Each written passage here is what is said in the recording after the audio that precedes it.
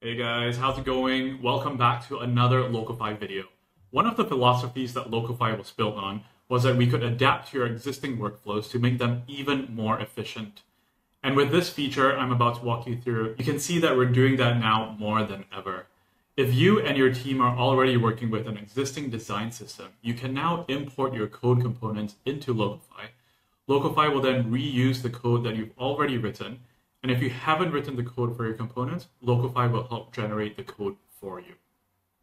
Let me quickly walk you guys through the design that we will be converting into code. We've got a website here with a single page. It looks like a personal online banking platform. We're mostly using components for almost every layer over here. So you can see that the header is a component defined by that purple outline. Can see these cards here are also components, this line chart, this pie chart and all these cards in this horizontal row here. To the left of this frame, you will also see a frame that consists of all my master components over here. And in the next step, I'm going to show you how we're going to import the code components for all the components that you see over here. There are two ways to import your code components into Locofy. The first one is when you're creating a new project. Click on the dropdown, click on Create New, here you can select your name, select your team, select the framework you're building, configure your code settings, and in the very last step, you can choose the method of how you want to import your component library. But if you already have an existing project, go back to the Locofy home screen and you'll see on the top here a connect button. Once you click on that, you'll be presented with the same three methods. You can either import through CLI, GitHub, or Storybook, we have the most extensive support for CLI, and that's the method we would recommend going with. I now see some instructions on how to install the Locofy CLI and push my code. So let's jump into VS Code to do that. So I've got my Figma window open on the left and my VS Code on the right. In my VS Code, I've already opened up my code components folder. So let's take a quick look at my components. There are no restrictions as to what you can import into Locofy as long as it's a valid React component. We even support the use of external libraries. For example, in this line chart component over here, I'm using the eCharts library. So let's go ahead and follow the instructions that Locofy has provided. Let's copy the first command over here, paste it into my terminal.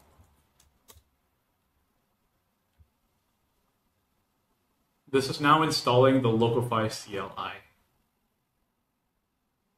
Okay, now let's run the next command to initialize the project. Okay, and let's search for the project over here, banking app one. Okay, great. So I have selected my project. What you'll see over here in the component folder is that a file called locofy.config.js has been created over here what I need to do is to define the relative path of all the components that we want to push to Locofy. So let me go ahead and paste the code here, save the file, and then all we need to do is run the last command here, locofy push. Awesome, it looks like we're all done pushing the code to Locofy. Now let's head back to the Locofy plugin. Okay, we're now back in Figma, and if I scroll down to the bottom of these instructions, we can click on the blue button over here to continue, and you can see that Locofy is now automatically detecting the Figma components in the design and mapping them to the code components that I've just imported. On the left column over here, you'll see all the code components that we've imported, and on the right column over here, you'll see all the corresponding Figma components we recommend that your code component name and property names match your Figma components for optimal detection.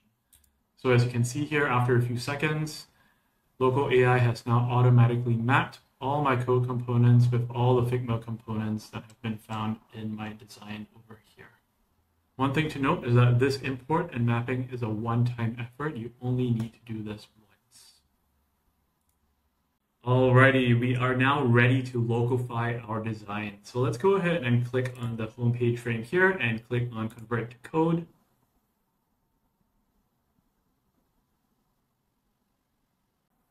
Okay, it looks like Locofy has successfully converted the design into code. Let's check out the live prototype over here. So if I click on the card here and expand the code, you'll see that we're using the component code over here for account card.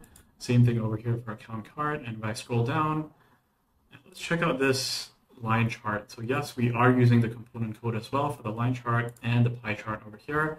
And one thing to note is that whatever interactions that you've already defined in your component code, Locofy will fully preserve that. So for example, you can see that I have hover states in my line chart.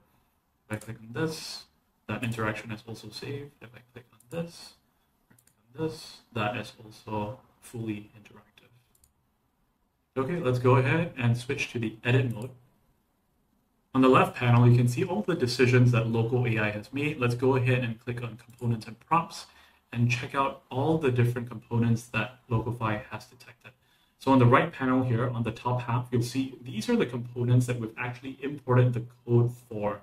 So things like the header, the account card, the line chart, the pie chart. The bottom half section over here, these are the components that we have yet to write the code for. But that's okay because Locofy will help you generate the code. So to summarize, if you've already written the code for your components, Locofy will reuse that code. If you have yet to write the code for some of your components, Locofy can help you build and expand your design system by helping you generate the code for those components. That's all I had. Hopefully you guys followed along and successfully imported your code components. If you have any questions, comments, or suggestions, don't hesitate to reach out via email at support at locofy.ai or join our Discord community.